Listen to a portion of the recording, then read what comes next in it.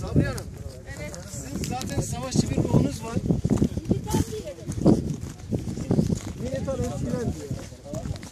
Ee, şey e, eski yolu görüyoruz.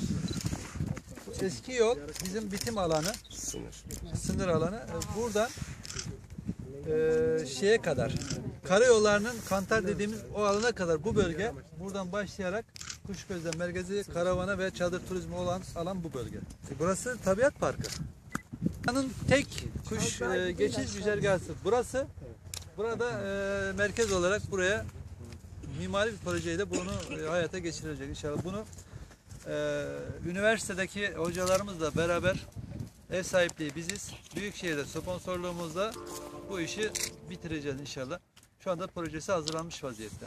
E, karavana turizmi var, kamp merkezi, çadır turizmi.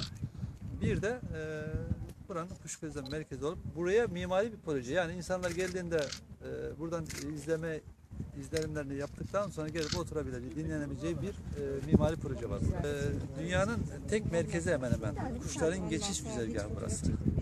Yani insanları buraya çekmek, turizmi canlandırmak. Esas ana gaye, gaye bu. Burada da tek zaten tabiat parkı olan tek bölge burası.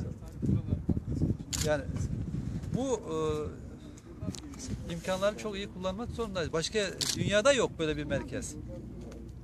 Onun için burayı e, 600 dönümlük bir alanı tabiat parkı olarak e, Cemil Başkan tek bir kulübeyle değil dediğim gibi Böyle bir 600 projenin- dönümlük alanı kapsıyor. Böyle bir pro- Burada, e, Büyükşehir'in de sponsorluğu var.